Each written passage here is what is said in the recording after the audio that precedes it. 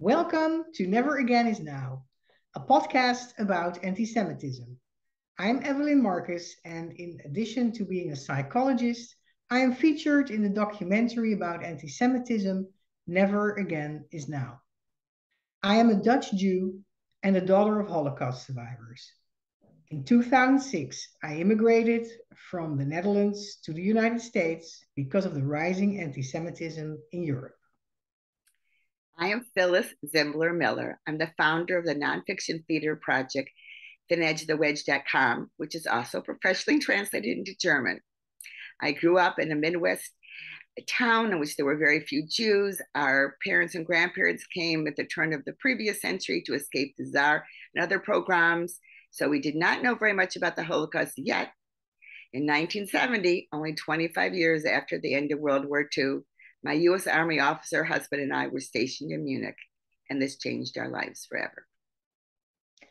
Born in New York and resident in Munich, Terry Swartzberg is a leader in the commemoration of the victims of the Holocaust and the head of the Munich chapter of the Stolpersteine.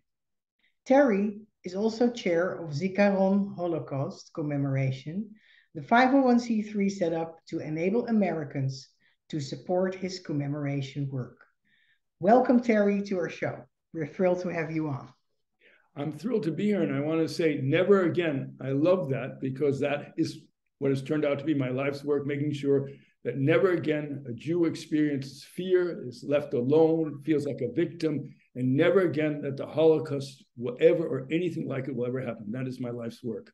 Right, and that's what we're going to discuss uh, further in um, in this show of today. Um, can you share with us, please, a brief background explanation of your journey from the US to now living in Munich? Uh, what motivated you to make this change? It was all, I would say, serendipity. I arrived in Berlin in 1980, West Berlin, in the Cold War days as a young investigative journalist. I latched on to the International Herald Tribune, which was the subsidiary of the New York Times and Washington Post for many years, a well-known newspaper. I wrote for them for 25 years.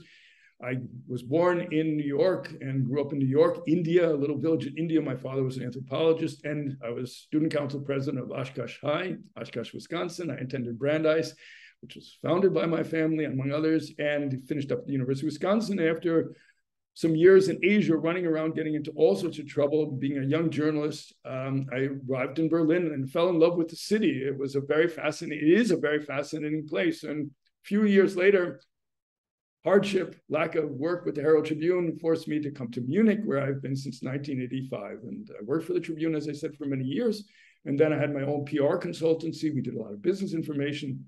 But for the last 10 years, I've been what I call an ethical campaigner, tikkun olam. I try to heal the world. We try to heal the world. Our two subjects are main topics, commemoration of the victims of the Holocaust and climate for the UN and other organizations. Okay. Thank you. Now let's get to the Stolpersteiner. Let's get to the Jewish part, the commemoration of victims. And will you explain for our audience what it is? And okay, give us the story. I mean, we know it, but give the rest of us. There are 100,000 of these Stolperstein, they mean stumbling blocks, in 1,800 cities in 28 countries. It's the largest project of commemoration the world has ever seen. It is the world's project of Holocaust commemoration. Um, each Stolperstein is for a victim of the Nazis, Jew, gay, um, Jehovah's Witness, anybody that the Nazis killed or persecuted gets a Stolperstein. The interesting thing is they get these Stolperstein are placed. This one is going to be placed in December in Munich. They are placed in in front of the buildings in which the people lived, the homes the people lived. In other words, if you lived in that house before the Nazis came and took you off to Auschwitz, that's where you get your Stolperstein. And um, Stolperstein are not supported by the government. It's a purely private thing, individual things. People donate the money, people place the Stolperstein. Many of these people, of course, are the grandchildren, great grandchildren of Holocaust victims. Other, very often, are the people who are now living in the building. They want to say, We have not forgotten these people. We want to commemorate these people every single day. And that is the interesting thing about the Stolperstein. You go to Dachau, you go to Auschwitz, very moving, incredibly moving.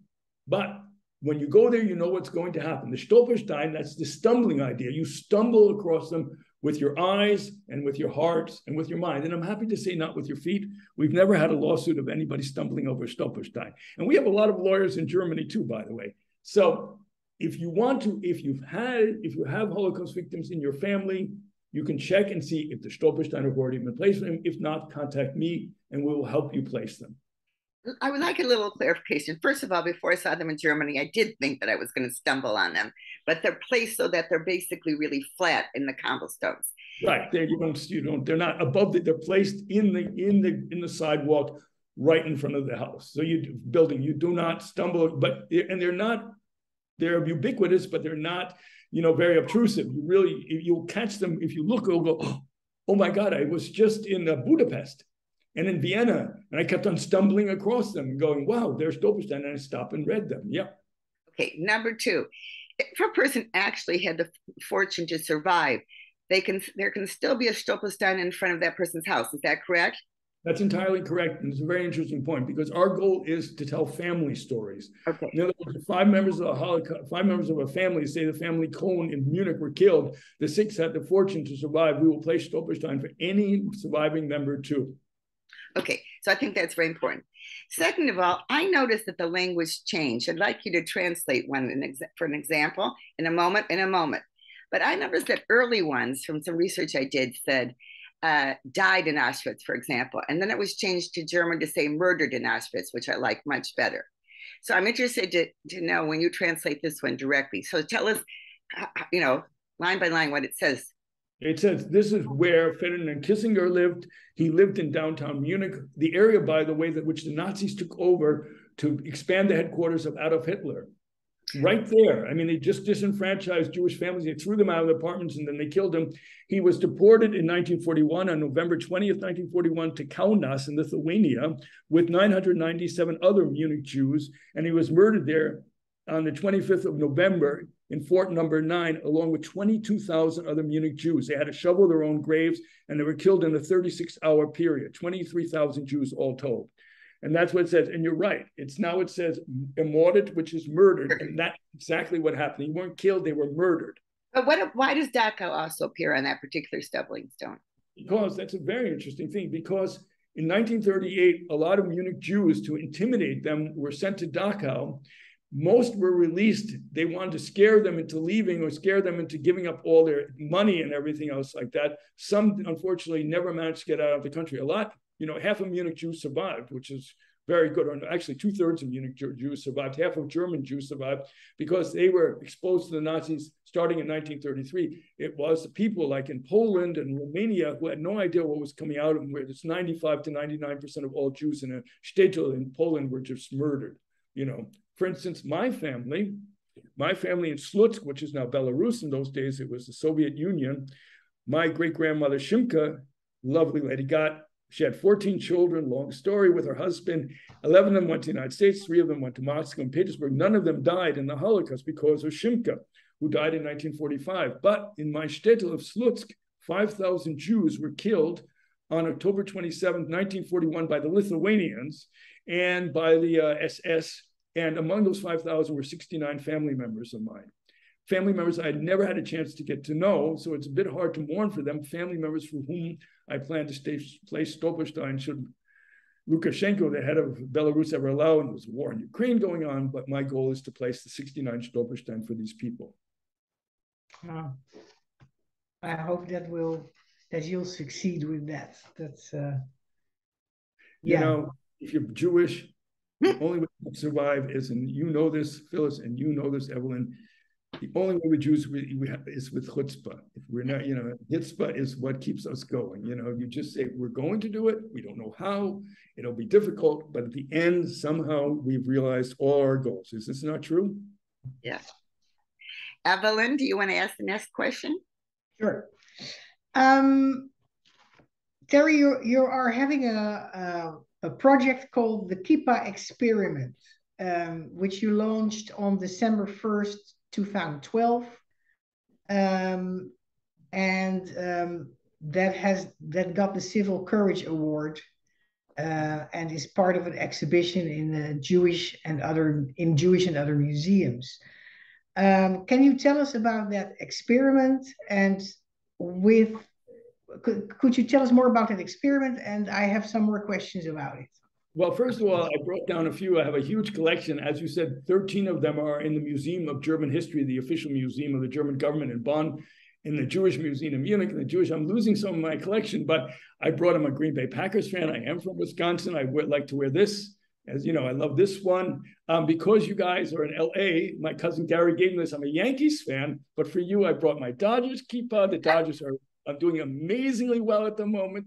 I love the Dodgers, the Yankees more, but I the Dodgers. This is from Yair Emanuel. I love his things. He never gives me any for free. Maybe he should because I do it from Jerusalem. I've got lots of kippot. And at the moment, I don't even know what I'm wearing. Oh, yes, I'm wearing this colorful one. So it was, I'm a Reformed Jew.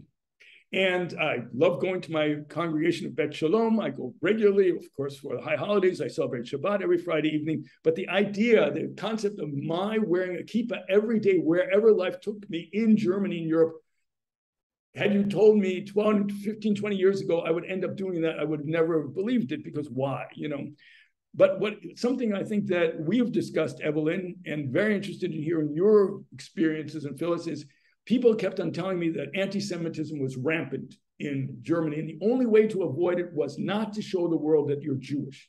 In other words, the moment I would put on a kippah, or you know, wear a Star of David, or read a newspaper in Hebrew, people would start spitting me, would start insulting me. I was risking it. And I said to myself, I'd lived in Germany for over 30 years.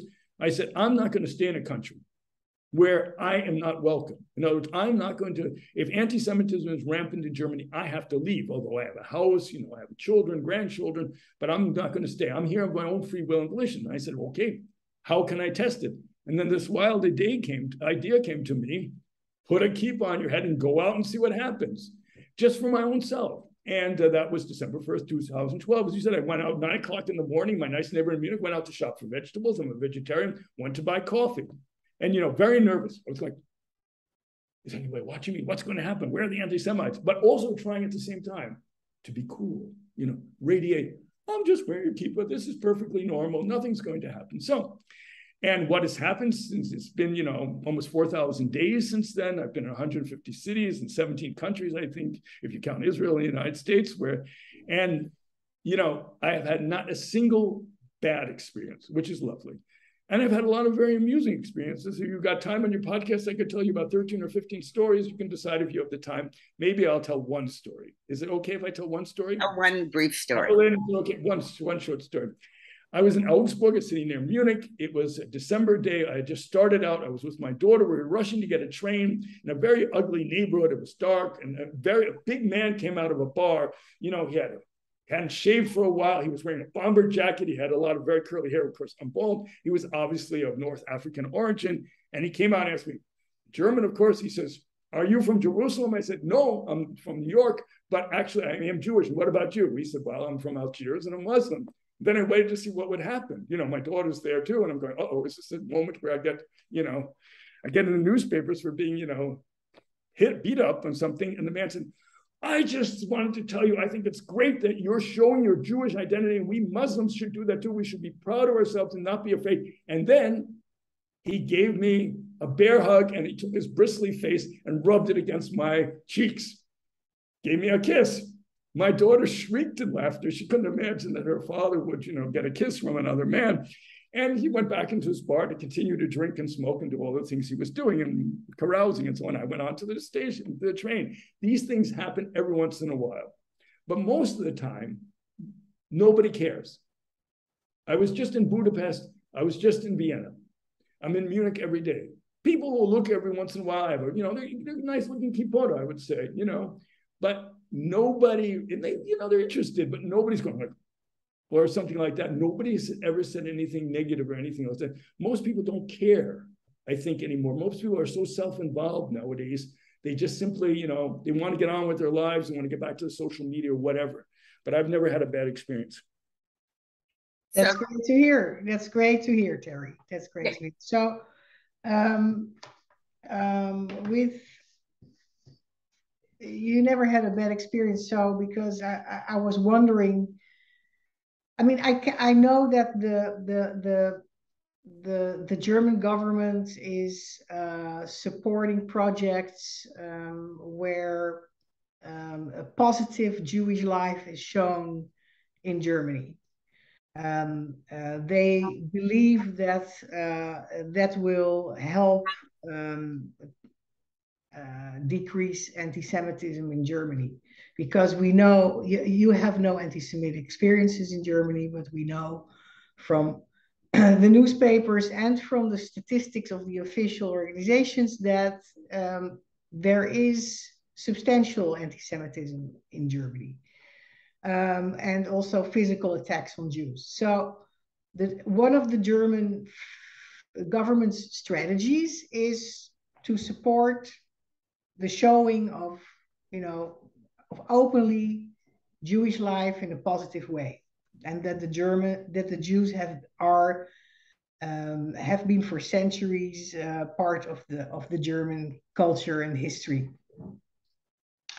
Um, I was wondering, and I think that that can have certainly have an effect on certain prejudices and the feeling that the other that the Jew is the other, etc. That you can decrease that uh, somewhat in that way. But we also know that there are anti-Jewish um, behaviors coming from more from ideology than from prejudice. Uh, for instance, from religion, for instance, from um, um, uh, enthusiastic uh, uh, solidarity with the Palestinian people and therefore hating Israel, and in some cases, therefore hating Jews. Um, do you think your your kippah project, which I am, from what I understand, means that you are wearing a kippah, right? That's, That's all I'm doing is wearing one of my many. That's the project. So, so do you think people who are coming more from uh, ideological hate against Jews and Israel that that it will have an impact there? First of all, you mentioned a lot of things that are of great importance. First of all, the last thing I would deny is that there's anti-Semitism in Germany. Between 10 and 20 percent of Germans are anti-Semitic, which is about the same percent in the United States. We have not had anybody seriously injured in Germany for as long as we can remember. The last one where anybody was injured at all was 2012, that they required hospital. I don't treatment. agree. I don't agree. There was a, a, a, a man in a park last year or the beginning of the year even this year who was attacked by uh, five. I, I, know the story. I, I wearing, he was wearing a kippah and he was. Yeah, and then that was not. I was. I happened to be actually on the spot when it happened. I happened to be shortly away. Oh, the wow. story, yeah, and the story is completely different. It was not he. He got involved. He was not Jewish. He got involved in, he spoke Arabic. He thought they were insulting him. It was a group of Syrians. He said they weren't. He got involved. He got, and they started, and he said, they said, stay out of this, doesn't bother you. And he had just put on a kippah to try it. And then he got, it was from Prenzlauer Berg, and he got whipped. But they were just basically, he got involved. That's the problem. That's, not the, that's not the incident I mean. Right. that's not the incident I'm referring Again, Evelyn, I can't get involved in incidents. Let me just, please, let's yeah. give the overview. Right. The overview is, I think there's several points to be made. First of all, what you spoke, I think the German government is wonderful. And um, the first thing, if you asked any Jew in Germany, the first thing we always want to establish, we want to maintain, we want you in America to know is there's a tremendous flourishing of Jewish life and Jewish culture in Germany, even without the government. The government is helping us, but we have now 300,000 people. If we could count all the Israelis that are hanging around Berlin we might know exactly, but the Israelis love coming to Berlin. They stay, you know, they stay, but they're so there are about 300,000 Jews. There's 138 congregations in Germany. That's a lot, and of which 30 are Reformed. And um, as you said, Evelyn, this is quite true. Before Corona, hopefully after Corona, any evening in Germany, you can go to a festival of Jewish literature, of Jewish music, of Jewish dance, of Jewish food. I love to cook myself. I love to have, you know, shakos where we all make our own version of shakshuka and and see who cooks the best shakshuka. My shakshuka, by the way, is the best in the world. I will just maintain that there may be a lot of competition. Okay, so Jewish life is flourishing. Now, and anti-Semitism, the 10 to 14 to 20% of the people, nobody has been killed in contrast to Pittsburgh and San Diego. I recently had a discussion when I was in the United States. I was in an airplane flying from uh, Reno, Nevada to uh, Los Angeles, where you live. A man came to sit next to me and said, by the way, I'm Jewish and I'm gay, and I can't tell anybody any of my clients, I don't dare to tell any of my clients that I'm either Jewish or gay because I'm afraid they would not want to, you know, work with me any longer. I simply could not believe that in the United States in 2021 or 2022 that is the case. It may be. I don't know. You know your country much better than I know. Um, most Jews get by by being invisible. They're afraid to show their Jewish identity. They feel in the moment they show their Jewish identity, they're putting themselves and their children and their houses at risk. This is the truth. Um, the figures on anti-Semitism are, are scary, but they're misleading. They expanded the definition of anti-Semitism to encompass anything that is appears online, like in Twitter or like in Facebook or whatever, and anything to do with the Stolperstein, which we'll get to. In other words, the Stolperstein are not a Jewish thing; they're about Jewish commemoration. But by that definition, there is more anti-Semitism in Germany. So, as I said, there exists. That's one side of the coin. It's horrible. And my feeling, and that's why I was, I started out just doing it for myself. You understand? This was just for myself so I could say, I can stay in Germany. I have become something of a national figure because of that. I do not lay claim to making the final statement about anti Semitism in Germany. It's just my own experience. It's just my own experience. I don't know. It has inspired a lot of people to, we found an organization so that Jews and non Jews could get together. That Jews, if they're hidden, they should stop being hidden. My basic goal is with this Kippah thing, it turns out, I didn't know it at the time. My goal is to take back the streets, to make sure that we are streets.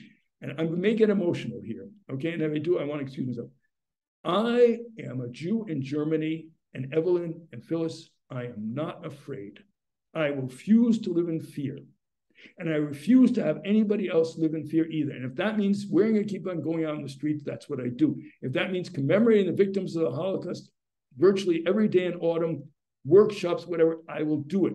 I did not come to Germany 45 years after the Holocaust or 35 in my case, to live in fear. I picked this country, and the only reason I stay in this country, besides which I have a nice house in Munich, a nice life, is because I feel safe as a Jew and I want to preserve this. And I want every single German to know about the Holocaust and to be ashamed of that and to be conscious of that. And that is one of my goals too. But never again is what you said, never again, any Jew that I hear about that has experienced anti Semitism, and they're friends of mine, I say to them, I will walk with you, I will go with you, you should not live in fear. And I think it's very positive in Germany. Anytime anybody's attacked, whether it actually happened or happens the way it's illustrated in the press, it's a huge amount of vigilance in Germany about anti Semitism. And that's great. It's scary, it scares Jews, but it's also great because it keeps them feeling like if anything happens to them, the whole weight of public opinion will be on their side. I, I, I think it's very moving what you said. And I really do understand how you can feel safe in Germany. I mean, I lived in Germany and we were faced uh, harassment for being Americans at the time in 70 to 72. I mean, you know, they could tell it without Mitch opening, you know, short haircut, etc. military. You know, we were the occupiers, which we were. But but I wanted you to share with us in connection with this that when there is an anti Semitism problem, about that organization that you described to me and why you're going to Nordhausen, which I think is such a positive example of how taking anti Semitism seriously in Germany. Could so you could describe that?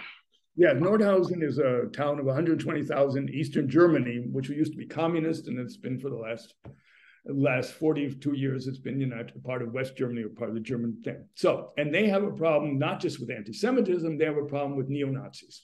And neo-Nazis were very basically ruling the town for a long time. People were living in fear. And the neo-Nazis, there aren't any, there aren't any Jews or very few Jews left in Nordhausen.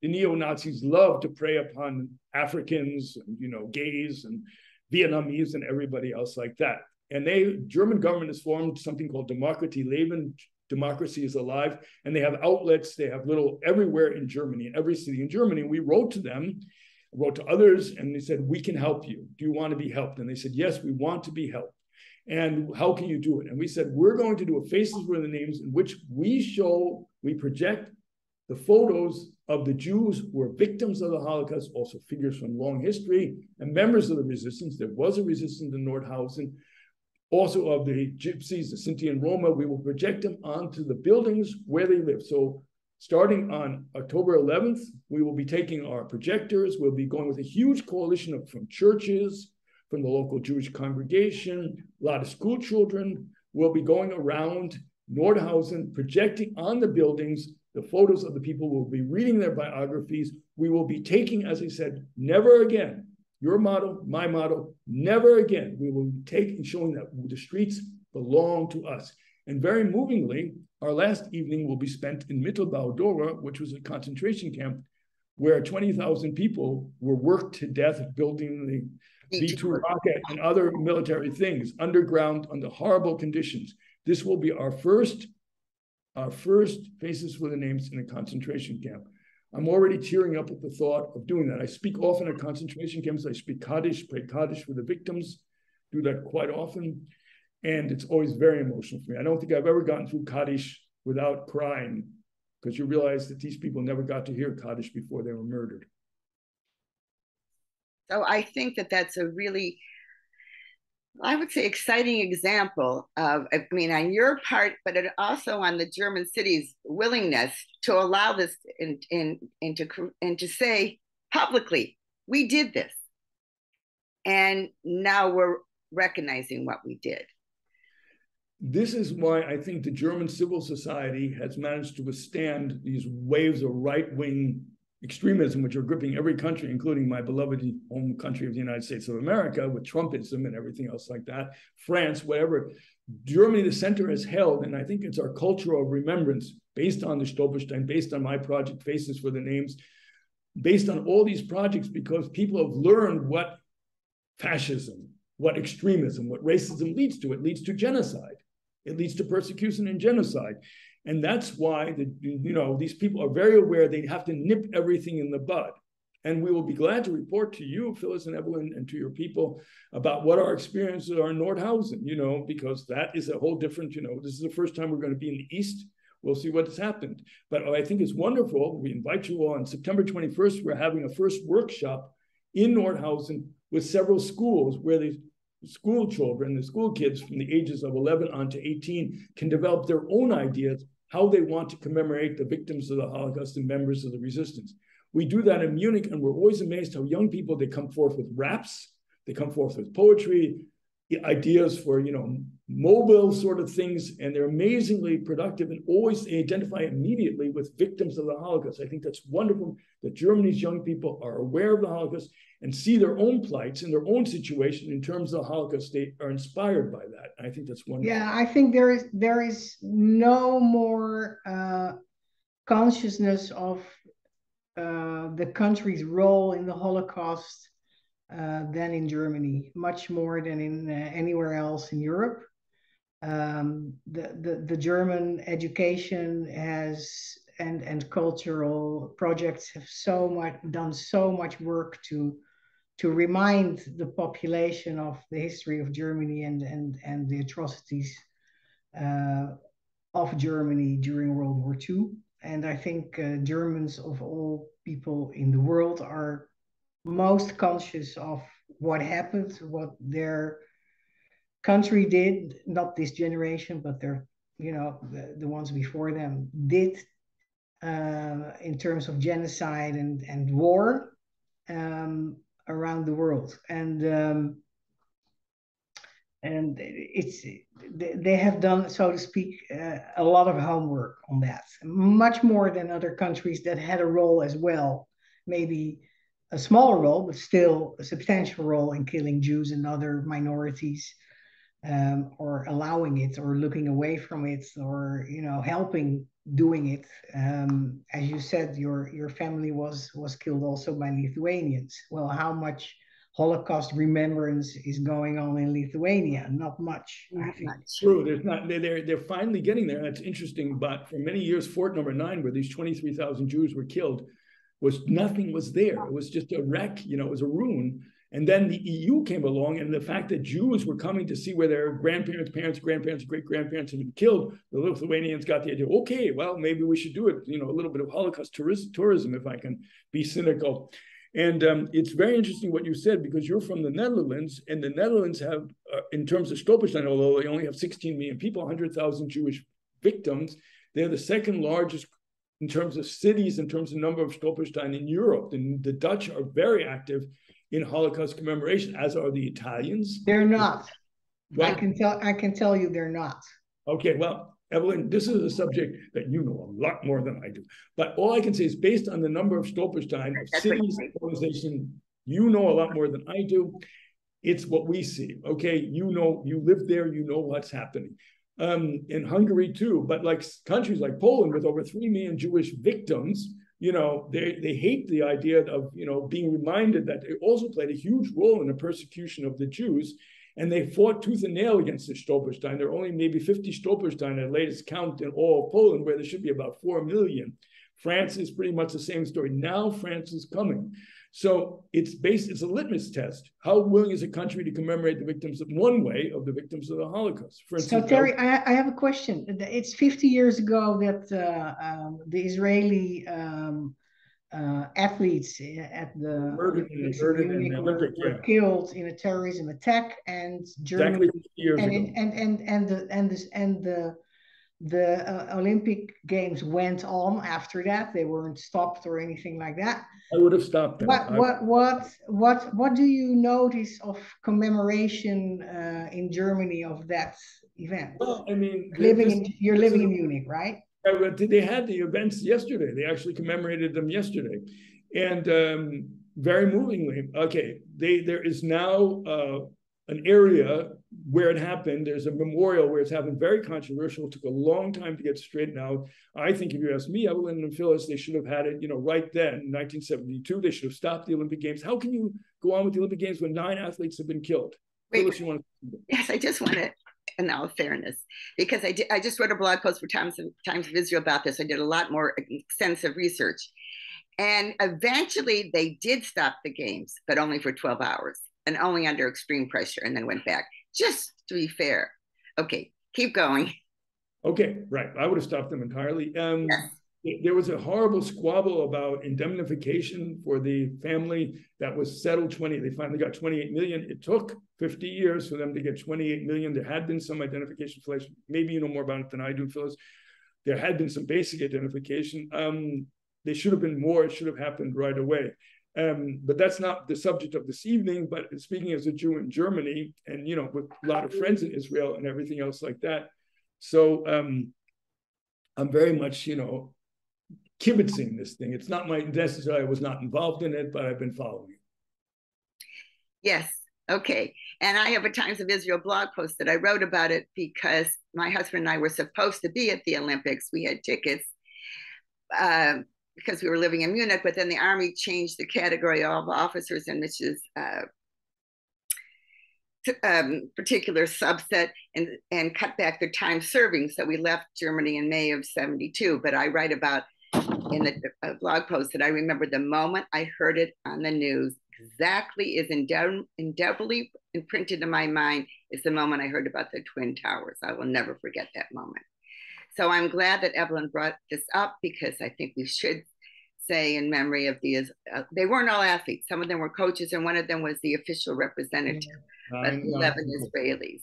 And and I will just say this one thing, and then I'm going to ask for last thoughts because it's getting late. That one of them, Shaul Land Ladany, okay, I probably mispronounced his name. He had survived Bergen-Belsen, where Anne Frank died, and at first they thought that he had been killed he was, but he was not one of the hostages. And the headline in, in Israel apparently said something like, I have it in my blog post, but it's not here. Landy doesn't survive Germany a second time, which was heartbreaking. He actually did survive. But still, that was my feeling that here, only a few, well, by this time, it's 27 years after the end of World War II, Jews are being killed in Germany again. So I'm glad that we're remembering that they. What Evelyn and I would both agree upon is, for instance, what moves me greatly is the murder of Shlomo Lewin. Shlomo Lewin in 1979 because this is a huge thing. He was in Erlangen, which is in central Bavaria. He had been, um, he'd been from, was from Erlangen, went to Israel, became ministry for heavy industry, and then out of the goodness of his heart, came back to his native central Bavaria and tried to build up Jewish life there. And he was attacking, he was, there was anti-Semitism, institutional anti-Semitism in the 70s in Bavaria, and he met it face on. And he was murdered along with his non-Jewish um, spousal equivalent in December, December 19th, I believe, in 1979, by a right-wing group called Wehrsportgruppe, allegedly. I better not say anything else because I'll have a lawsuit on my hands or anything. Supposedly by one person who may or may not have been associated with Wehrsportgruppe. Um, you can get a lawsuit immediately upon this.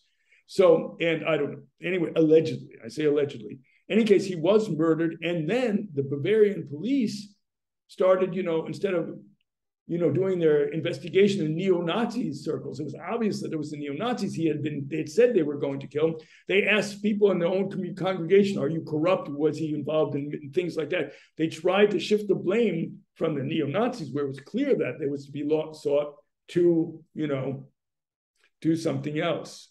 So, I mean, you know, there have been all these very disturbing things. There have been disturbing things in post-war Germany. It took a long time for Germany especially in the justice, the system of justice or injustice, to get, you know, to get rid of its horrible Nazi legacy. And Bavaria's Minister of Justice, we're going to be together next week. There's a huge reception about this. Is the first to say it's a process that has not been completed. Repeat that before you do last words, because our time is up. A process that has not been completed. Right. This Germany system of justice, the process of dealing with the Nazi past it's a process that has not been completed. and still has to be completed. I think unless there's something that you really want to add, that that's a really effective way to end. I, as being Jewish, I would have one more thing to say. Okay. Okay. Um, we live, we're a nonprofit, we're volunteers, we um, need donations, we need people to help us. Anybody wants to be part of our network in the United States, we, we love to go on speaking tours. We are, I'm going on a speaking tour. It's been Corona. I'll be in the United States. I've got several dates already. Anybody who wants to have us hear about the Stolperstein, about anti-Semitism in Germany, about Jewish life in Europe, whatever, or just wants to hear my 100 favorite stories about my kippah. And with that, the only thing that really ever interests Germans, and this is my last word, is, you know, Germans are interested in my kippah, but the only thing they ever ask me, and they never ask me, Terry, you know, why are you doing or what are your experiences? The only thing they ask me, and they mean this very seriously, they ask me, how does it stay on your head? You know, I don't have a clip. This Germans are very technically minded, and why my kippah stays on my head? And I, they say, is it glue? Of course, it's not glue. And you know, and everything. And I have two answers, and this is my these are really my last words. The first thing I tell them is Gravity also applies to Jews, not just to non-Jews. I mean, the gravity will keep that keep on my head. And the second thing I said, it's the faith that keeps my keep on my head. And that is my last word. That's really beautiful ending. We thank you so much. We thank our listeners and particularly for people who would like to know more about anti-Semitism in Holland and Europe. Please, if you haven't, see Evelyn's documentary, Never Again is Now. You can see it on Amazon or on YouTube uh, coupled with this interview today, it will give you a, a, another uh, look at anti-Semitism in Europe and Evelyn speaking up, which is what this program is about. You can find more information about my free project, thinedgeofthewedge.com. And also you'll see the link to the German version there. And everyone, wherever you can, without putting yourself in physical harm, speak up against anti-Semitism and all hate.